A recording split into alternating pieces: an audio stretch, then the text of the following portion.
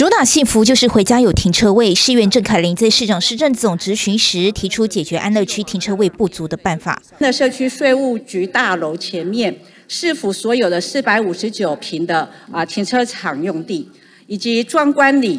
庄观里现在市府及国有的六百五十平的机关用地，这三个公有土地都能做停车场，或者是规划呃立体停车场，或者是呃多功能使用空间的这样的状况的话，不仅可以改善我们当地住户的停车问题，也可以增加一笔市库的一个收入。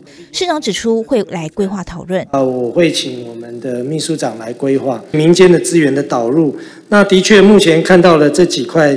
地其实都也蛮珍贵的，这个部分是不是容许我们好好规划一下哈，然后提出一些方案，再来跟议员这边来讨论。另外，针对安乐区国宅一起都更问题，郑凯琳希望能加速进行。呃，谢市长一再提到都市更新及围绕的问题，那本席认为安乐社区国宅一起的都更是最重要的一件一个地点。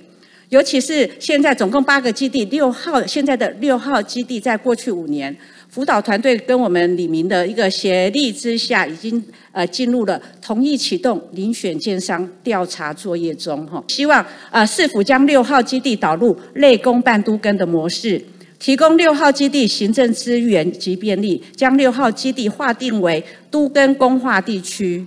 都跟工化地区降低这个都跟的障碍，提升更好的奖励，让六号基地都跟一案有推进，有更高的一个达成率。市长指出会亲自前往了解。安乐一起，希望有个时间可以跟议员一起去看一看，好不好？因为这个都跟案感觉也已经是进行的非常久了哈。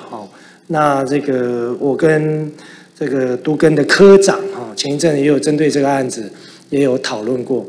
那我想说，如果有机会，我们去现场能够看一看，然后针对这个部分来了解一下目前的现况跟如何加强这个部分的效率，我觉得这个是我觉得我非常乐意能够做的一件事。是不是请我们都发处的呃谢处长哈，到时候针对安乐一起的部分跟议员在希望能够在会期后好不好？哦，约一个时间，我们到现场去看一下，然后也跟大家座谈，看看问题。